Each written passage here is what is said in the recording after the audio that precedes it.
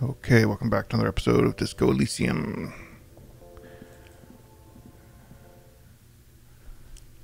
Let's get out of the store.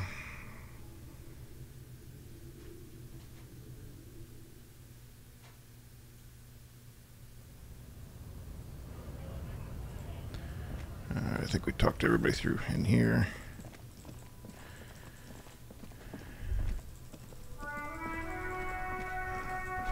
To all these cats.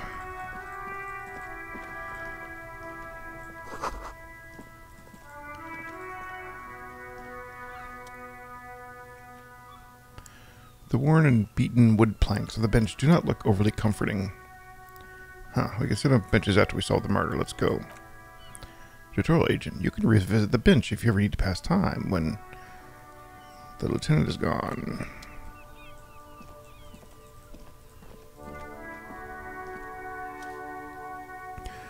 Mail collection box. This post Laventure er, mail collection box has been heavily vandalized with graffitio. A closer inspection reveals two bullet holes in the front. A faint sticker on the side reads RCM Emergencies Desk number 08 102, slogan Mankind be vigilant. Good mail delivery box. The box seems happy. Eat shit, pig. Fuck by the cun, St. G.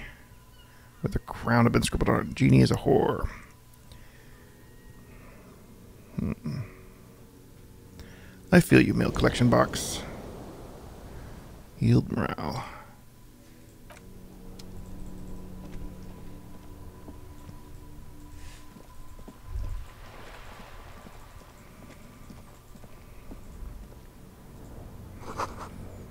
Tire tracks leading to the roof.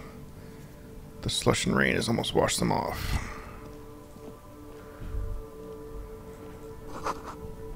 Ancient fountain doesn't pump water in it. There's a tree in it. Wow, this place is pretty big. Let's not go this way.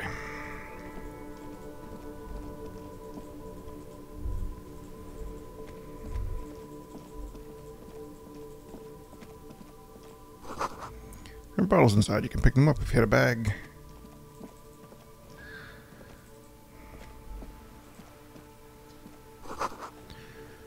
The book is a rose, a pistol, a half-naked dome on its cover. The cover stands a very muscular man surrounded by flames.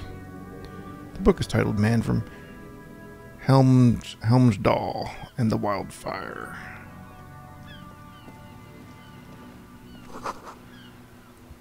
Is about pate. This book you don't understand what it's about, nor is it important. This book is about audio culture, culture. About freedom. Books about the future. Go and read your mind using radio technology. You memorize the title. Laos 87 Radio City. Seems important. Okay. Hello, sir. Step right in. The store is open. Interested Hello. in a new and exciting book? Can I store this anyway? bookstore, sir. We sell books, postcards, and some board games. It's called Crime, Romance, and Biographies of Famous People. Books, postcards, easy. If I, s- even a kid would know all this.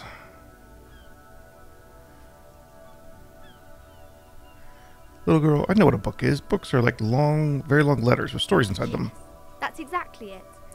I also know what a postcard is. A small cardboard picture you can send to a friend or loved one. You got it, sir. What about board games? Hmm. Who cares about board games? No one. Okay, sir. This was all very enlightening. Can I help you with anything else? Ask okay, questions. Sir. I'll try to answer any questions you have. I hope they're about books. What's your name? My name is Annette, sir. My mom. Her name is Plaisance. She owns the store. She's inside, minding the register or organizing the stock. The girl gazes at the window, then suddenly jolts her eyes wide, as if recalling something. Feel free to step in and browse our wares. And you're standing out here in the cold because I'm signaling the store's open. Otherwise, people might not know. They'd miss out on the crime, romance, and biographies of famous people. You're such a good trooper. You are already learning the value of hard work. Thank you, sir. I'm here to help my mom hold this. Help my mom out with a store. She stands upright like a little soldier. Shouldn't you be at school or something? I do my studies at home at the moment. I have to help mom keep this place running. What is school anyway? School? Well, mine's a big yellow building on, on Boogie Street. And the people there run it. They say it's a charity. Isn't going to school more important than this? Mom says it's necessary to do both, builds character. Mom says a proper worker is dutiful. That's how you get ahead in life, you succeed. There is stress and unease behind these words. She's reciting etiquette. How's the business going? Mom says it's peachy. She was a little afraid at first, and there was talk about this house being cursed. Cursed in what way? Cursed in a way that makes them say that the, no business has ever thrived here. That they all go, she looks for the right word, bankrupt? Exactly. We've been doing fine, but we've been doing fine so far. Sounds rather serious. I should probably look into this. We can go into the bookstore and ask about the case, but I don't see much here to look into. Yes, please look at our wares inside. Postcards and board games are there, sir. Do you know about other failed businesses? Nothing really. Mom doesn't allow me to sneak around the back rooms or the cellar. I don't really know what's in there. How does this curse manifest itself? It does not manifest itself in any way. It does not exist. I liked it better when we were talking about whether it was appropriate to stand in the freezing weather. But Kim, the pl- plasmic manifestations, no such thing. Uh, enough about the curse for now. What is this crime business? Crime fiction is, is about murders or burglaries or things like that, and the work of a policeman or a private detective who's trying to solve a crime or catch a criminal. Wait, not crime fiction. I need to know what crime is. Uh, it's that bad. Point to your head. crime is what we're solving before we begin this conversation. Would anyone want to read about crime? Oh, it's it's exciting to people, I guess. They get to imagine dangerous things, kind of like a puzzle, where you can guess who the criminal is or who the good guys are going to catch him. I'm a policeman, by the way. You don't look much like a policeman. She examines you as if to find something policeman-like. Okay, then maybe I'm not a policeman, or I should stop being one. I didn't mean to offend. Sorry, sir. It's just that you don't look like Dick Mullen. She points to a book cover, which you see a strapping Vespertine officer. He stands grimly over the body of a dead woman.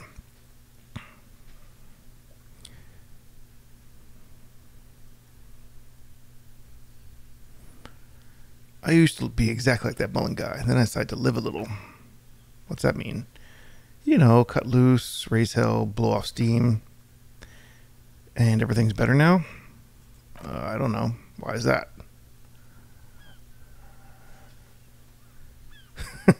Look at me, a hideous beast, a failure of a cop, a disgrace. Sir, please, sir, don't say things like that. You look nice enough. Nice enough for a small child, sure, maybe. Don't be sad, sir. I'm sorry I said the thing about Dick Mullen.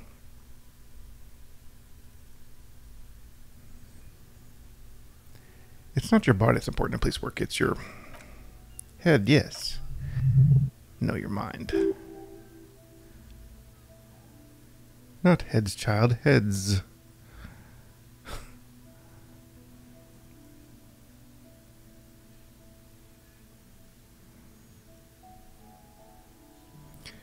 Flexibility. There are millions of different people out there, and you have to get into their heads. Sometimes you gotta be gotta be the killer to catch the killer. Isn't that very dangerous, sir? Oh, I guess it's unlocked, huh? Did it unlock? Breakthrough imminent. The policemen live live and breathe danger, little girl. Mullen obviously lacks the chameleonic skill. Unlike you, sir. He's just a fixer character. He's no match for you. Okay, I'm gonna do something right now. The girl keeps her hands folded, folded hidden. Why is that? Hey, why do you keep your hands folded? What do you mean, sir? You can show them to me. She she looks around anxiously. Her hands remain folded in front of her. She doesn't want to show them. The lieutenant stands by, looking looking at the two of you with a little with little interest. It's okay. She brings out her reddened hands. Her nails are frayed, chewed, chewed down to the flesh. You bite your nails. And you knew this from me keeping my hands folded? Yes. That proves nothing. Anyone can have such an easy deduction like this. Want more? Why, I bet I could figure out why you bite your nails. I got a few reasons in mind. She nods, half provocative, half enthusiastic. Rats have been nibbling on your fingers, child labor, and dismal working conditions. means you're recycling your own body material. You're uptight because your mother's been putting pressure on you. Maybe so, sir. Okay, I know it's a habit, bad habit, and I shouldn't. Either way, it's another ace deduction by the number one detective in town. It was okay, sir. There's more that can be achieved here. Ask her the same. You think so? Fine, do better. Do something for me. You're quite sober, she steps back quickly. Lieutenant does not flinch at the comment. He does flinch even does not flinch even a single bit bit. He is intensely not flinching. It takes effort. Wait, how do you know I'm usually not? Because you usually aren't. yeah, about that. Maybe you could point me towards some booze? Uh, frit, maybe? Alcohol's not good for you, sir. There she stands, swaying her feet, assaulted by the early spring breeze. She smiles at you. The whole situation feels suddenly familiar somehow. What is romance? It's a type of book where there's a rich lady. She has to choose between good and man, good man and a bad man. She smiles at the thought, perhaps imagining herself in the situation. Or there could be a story about a poor lady, poor lady getting a rich man. It's about man and lady business, sir. What about a poor man getting a rich lady? It happens, but usually the guy gets rich in the process, or should actually be rich himself, but has lost his family property unjustly like during a revolution or something. I see. Those unhappy books for the those are unhappy books for most of the pages. People are sad about what they have lost, but then it turns out to fine in the end. What about when both of the men are bad? These are not very common. You can't have a choice between bad and bad. Nobody wants to read a story like that. What if it's written well? Well, maybe it's fine. Maybe if the lady decides not to pick either because she does not doesn't need a bad man. Yes, that'd be interesting. What about when everyone's poor? That's not proper romance story. It's more like everyday life. Sometimes you have to write about real things, not romance books, sir. These are about nice and pretty people. Everyone is happy in the end. What about where the man and lady business doesn't work out at all? I haven't read many of those. Maybe she ask Mom. Yeah, do you think she has one about excruciatingly painful breakup? I don't think it's a romance story if the main characters break up, though. She pauses, trying to figure out the appropriate answer. No, think about it. One where they plunge into a torrent of spiral pain and rec- recrimination. O- only it's really long and drawn out. Scared for life. Phantom limb. Um, no. Uh, doesn't ring a bell? Bell? All right, I'll ask your mom. Yes, she knows books, definitely. Enough about romance. Who are these famous people? oh, kings and queens of generals or artists or musicians, those kinds of people. There's usually something extraordinary about them. I think that's why people read books, to find secrets of their fame. Seems like people who read books fail to get more famous from reading them. Readers of these books don't make the readers more famous, does it? But it does make the famous people more famous, she says. Famous sounds delicious. Maybe someday I'll, well, we will write a book about me one day. Why would they do that, sir? I'm not going to be a superstar cop. Hmm, why indeed? I'm just an old, tired cop. What use am I? You're not that old. Maybe you'll do something really important, something that wows the world. You think so? Yes, there's hope. A lot of famous people got to be famous, or even after they died. That sounds like a nice story to tell yourself at night. Maybe fame isn't that important after all.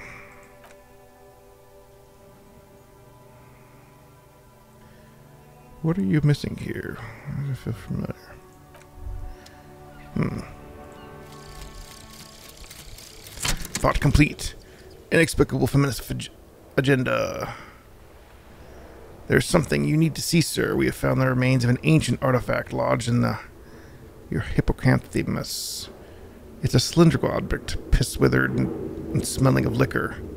The paint is peeling off, but you can clearly make out the letters Revolutionary Feminist Agenda on the hull. It appears some time ago. It appears that some time ago, before you became a joke, you were an actual feminist. But somehow you but somehow you've come to that conclusion. Perhaps you can work your way back. Plus one empathy could ease could evolve into RFA. Minus one electrochemistry electrochemistry would have to quit drugs to get there. Alright.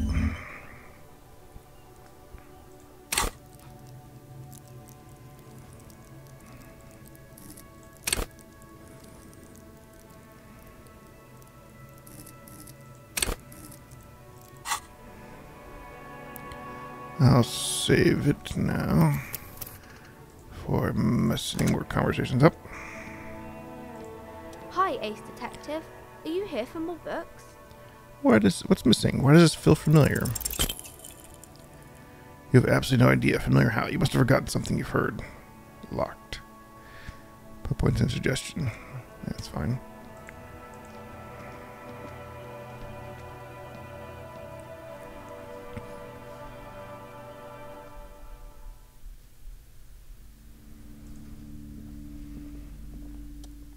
To Crime, Romance, and Biographies of Famous People.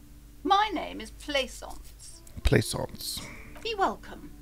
And please take responsibility for the energy you bring into this space. Before we go on, you seem well off enough. Can you give some money? I feel there won't be an opportune moment to ask you later. Sir, don't be ridiculous. I certainly will not give you money. I would be doing you a grave psychic disfavour.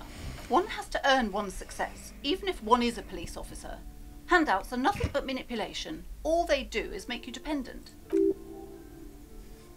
These certainly are good points to be said about dependence. It would forge good ties between us working people. Good, good practice for fighting our common enemy. you misunderstand. I'm a powerful feudal lord. I demand tribute. It's about traditions. Now, hey there! Sounds like someone isn't taking responsibility for the energy they bring into this space. Tribute, power, these are not the traditions we're used to in this part of the world. Can keep asking don't be her. ridic- one has to earn one's success, even if one is a police officer. Forge And good now, ties. hey there! Sa- fighting? Enemy? My philosophy is everyone just getting along. Sir, one has to earn one's success, even if one is a police officer. Handouts are nothing but manipulation. You're damn right. What kind of business would that be? In this kind of business relationship, I could come and critique your work anytime. I could demand things from you, limiting your creative freedom. We wouldn't want that. So you're the store owner? I am the proudest owner of our little shop of culture. Uh, what if I want to buy a book? Then why are you talking to me? Everything's on the shelf to browse. You don't con- don't you feel compelled to buy anything? She fiddles with her pendant, then waves her bony fingers directly at you. See those shelves? Go, go be drawn. What type of books do you have? All right, I'll take a look. The girl outside mentioned this place is cursed. Cursed? Who said that? Annette? I'll have a word with her. This place is not cursed. It has robustly magnetic energy. Good for commercial activity. My business is thriving, sir. What in God's name is she talking about? Your daughter's the one sitting outside the store, right? Annette? Yes, my daughter. I, I hope she wasn't slacking off with her nose in science fiction. Tell me she was at her post doing her job like a proper girl. Yes, of course. Wonderful. Did, did you talk to her? Yes. On a scale of 1 to 10, how compelled were you to buy books after talking with her? 10. She's very polite and helpful. My precious. Her dedications brings joy to my heart. You have children, I hope they turn out as great as my Annette.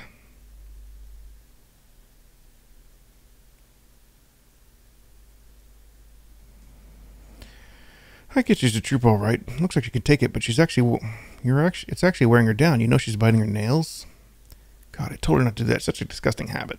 She'll get over it. Anxiety is part of life. I don't think she can do anything about it. She can't if she has enough willpower. It's called gro- growing pains. Life isn't easy. Life gives you hard breaks. Come on, ma'am. It's obvious she can't do anything about it. You're placing unnecessary burden on this child.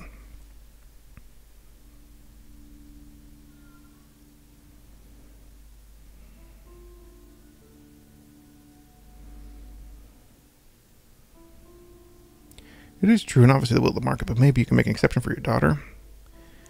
She stands stiff and severe, severely, silently fuming. Ten or seconds pass.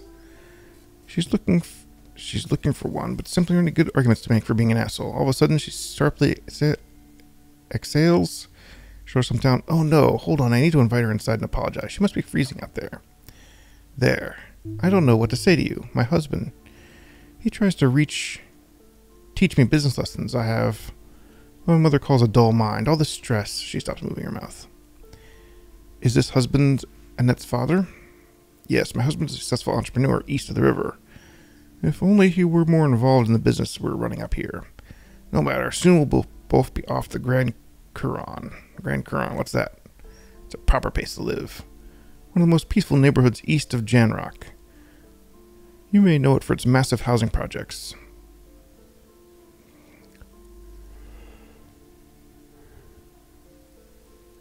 Hmm. Most of the buildings here are empty at the moment. It's a great opportunity to get ahead of the future crowds. Crowds. Better times ahead for sure. And your husband's involved, also involved with the bookstore. He made the initial investment. Then he's been what you call, might call a silent partner. Super silent, inaudibly so. Is she an only child? Yes, I'm afraid so. A real treat she is. It would be nice if she had. She paused for a second. No, we can't afford more children, really, not in this economy. Glimmer of sadness break blinks through the well-crafted exterior. Why not? We're quite busy people, you know. My husband and I quite busy. Children, a lot of work, and you don't have, and you don't look like a father, so don't expect you to understand. She catches herself. I'm sorry. I'm sure you do understand. She told me she doesn't go to school anymore. She's been too busy helping me, so she stayed at home this trimester. It's a temporary solution, of course.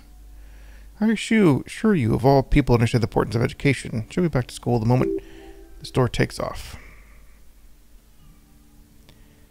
All right, something else in mind. Farewell for now, book peddler. Hello again, esteemed officer, and welcome to Crime.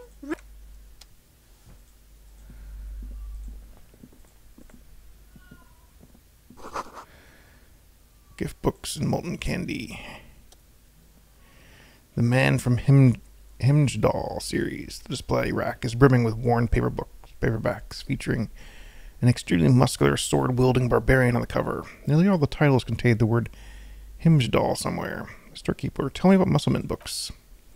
Oh, Man from Himjdal, a very popular series of adventure novels. He looks at you with the book with disdain. They're awfully immoral and violent books. Why are they so popular? Blonde, blood and violence, scantily clad women, epic narratives, all those mystical things he encounters. They're bound to grab those little imagination and nothing to do. Sounds good. Which one I start with? Why does it matter? They're all the same. However, the customer's always right, they say. If you're a novice in the series, I'd recommend Himjal, the man from Himjal. It's supposed to be a good introduction to the series. Look the display of books. Ro- rows and rows of Himjalinarian men blur your vision. You make out some of the titles Man from Himjal and the M- Mammoth Riders, Man from Himjal, Returned Himjal, and the Slaphistic Man from Himjal and the Himjalin Men. Oh, good. How many are there? Maybe a hundred? Man from Himjal and the sages at the end of the world, Man from Himjal and the false god, Man from Himjal and the scorched earth, Man from Himjal, the Himjalian colonies, Man from Himjal and the swamp beasts, Man from Himjal and the snow crabs. Is that all? Not even close. Man from Himjal in hell, Man from Himjal and the forest slaves, Man from Himjal the, under the lake, Man from Himjal, Himjal burning, and there's even the death, trial of death. A pastoral combat game book set in the world of Himjal and so much more. Pain threshold. Do any of these books call out to me? Nothing of interest.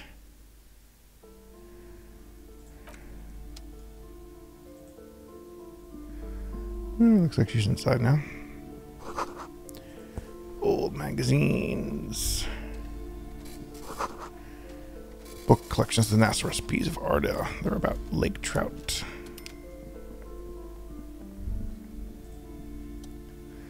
Mountain of board games, a small mountain of colorful board game boxes. There are numerous types of games to play for all ages. A lot of shelf space seems to be taken up by Wirral related merchandise. Store keeps what board games do you have here? Wonderful board game, sir. Viticulturist is a classic for sure. Or perhaps you don't you'd like Arpelagios of the Insulude, a very educational game for those interested in geography. Rabbitier is a fun game of economic competition, but can get quite intense after a while. We have games with the whole family. You can play with your children. Look at me. Who'd want to have children with me? Don't be so hard on yourself, sir. You just need to clean yourself up, a bit. And technically, friends are a bit like family. She fiddles with her pendant.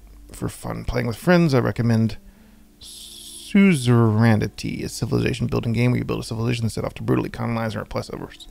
Other civilizations. Cost 10, 12 real. What about all these Wirral things? Lousy R's they are.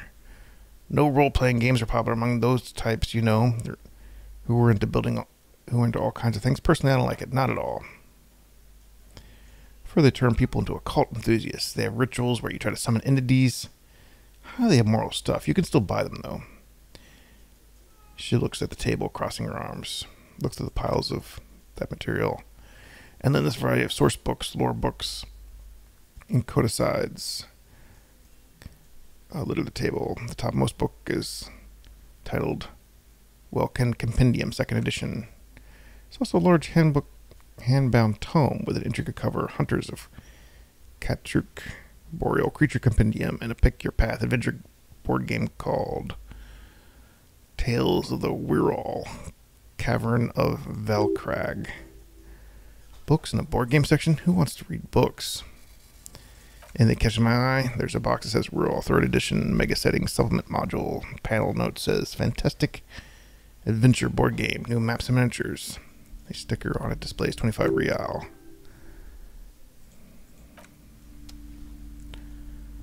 Let's save it again. I think I got all this shit downstairs. You see a tattered curtains blocking the way to another room. A strange cage-like trinket dangles from the curtains. Excuse me, officer. The back room is strictly for employees only. Shopkeeper, what's behind these curtains?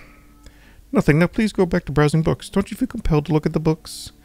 The books are all you care about. She almost speaks as if she's trying to put a spell on you, urging you to buy more books. Oddly, the curtains... Oddly, the more she tries to draw you away from the curtains, the more alluring they become. Examine the strange, cage-like trinket. She sees something like a charm and a, an irregular polyhedron assembled from bones, sticks, and jaw. Inside, a disturbing fish head with an empty eye socket stares at you. From the looks of it, this is a traditional Siamese ward meant to provide protection against ill luck, bad dreams, curses, and other supernatural scourges. Who are the Semenese? Inhabitants of Ile de Fantôme, the Semenese Islands down south. Aside from poking at it suspiciously, there's nothing else to do with the fish head charm at this time. The curtains remain shut before you. Pull open the curtains. Just as you're about to pull apart the curtains, Petra voice voice of the shopkeeper cries out with more. Sir, don't touch that. I told you it's off limits to the customer. Her hand closed around the pendant, her fingers nervously playing with the talisman. Parapsychology speaking, if we're done if we're we're done if you decide to open them. I won't be held responsible for consequences. It's too dangerous. She looks so perception hearing. Looks away. Why is everyone always messing with the curtains? Why can't they just buy books like normal people?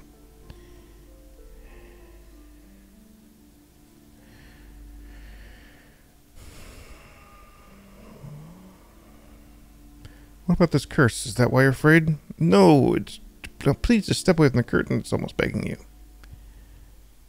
Alright, step away. Thank you. Let's just talk about it first, alright? There's no reason for to venture into the unknown. Talking is always good. Let's go see what she has to say.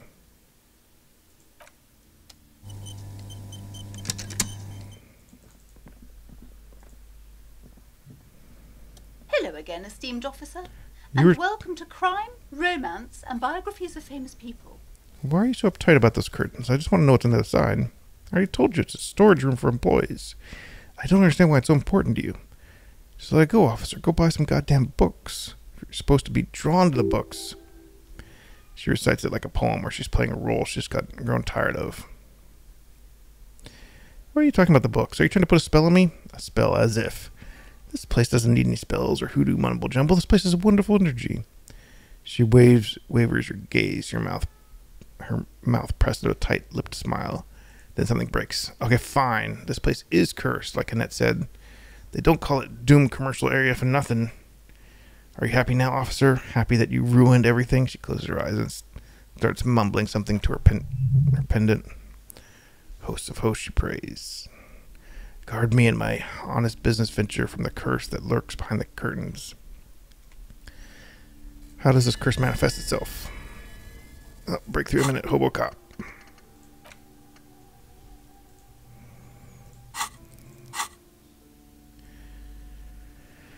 The curse is so much more worse than you can imagine. A disease eating at the very foundation.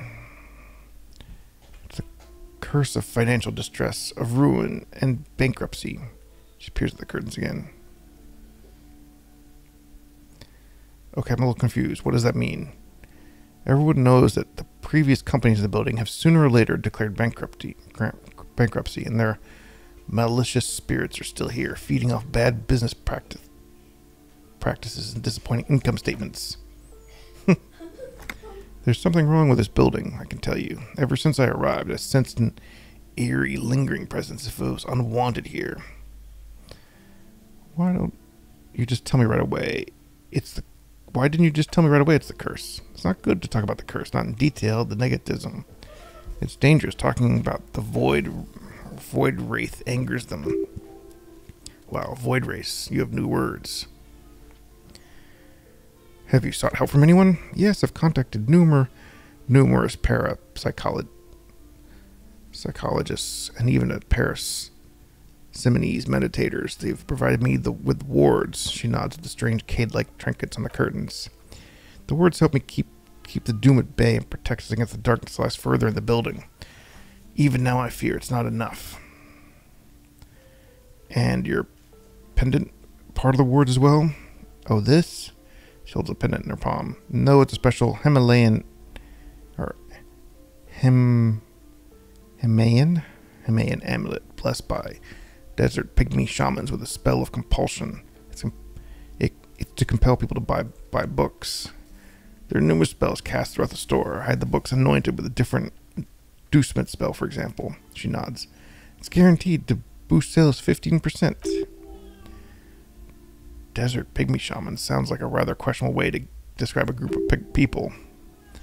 Doesn't seem like the spell is work- working. There are no customers around except you. There are hardly any customers in the store. Do you think it's working? Sir, I'm well educated in the commercial and esoteric arts. I know what to what to do and what to avoid. You ever thought about a salesman that could bring in customers? Just get my wares. I could see, sir, that you don't value books hi- very highly. Besides, that would only tempt tempt the phantoms of doom. They can see sense desperation, you know. Would you like me to take the case? I could investigate, see if the curse is real. Most certainly not. I do not want anyone who's not familiar with the psychic arts to be get involved in this mess. Stay away. Leave the spirits be so they can return to their slumber. My liege, you know what this calls for? A paradetective.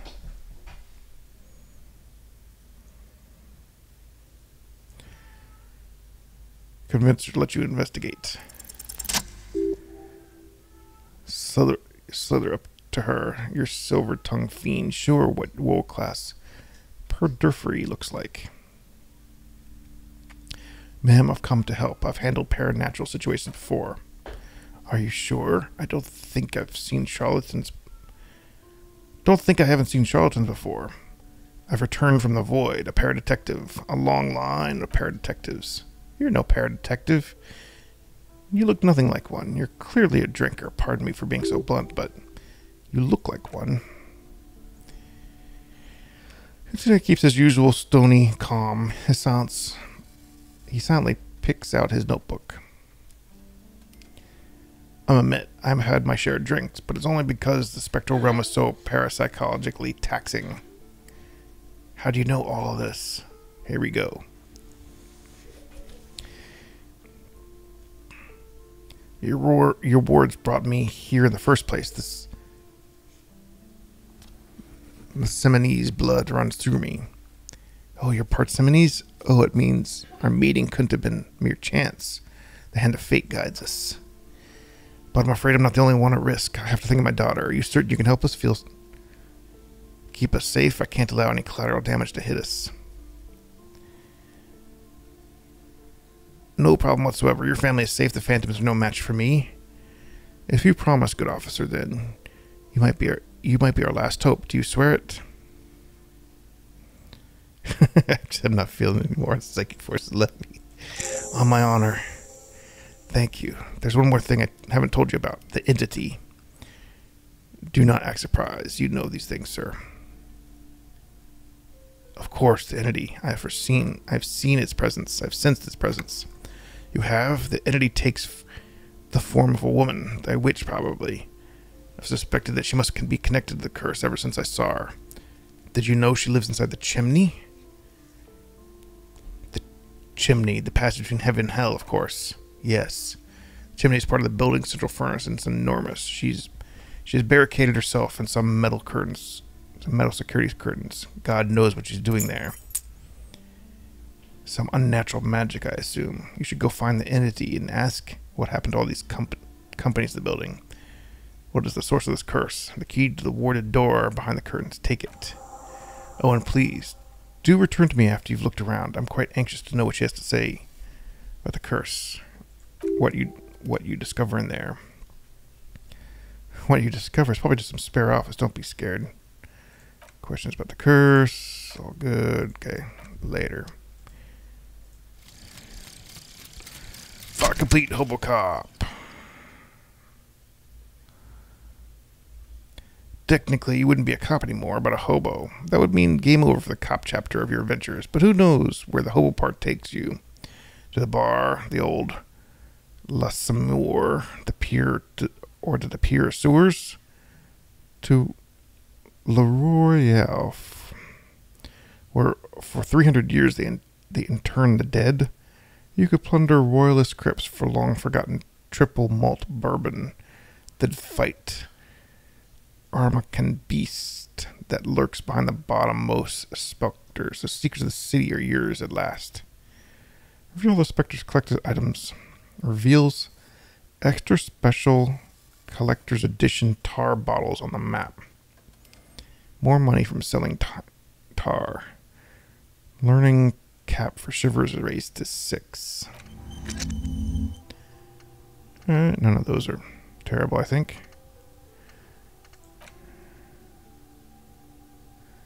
Head in the clouds.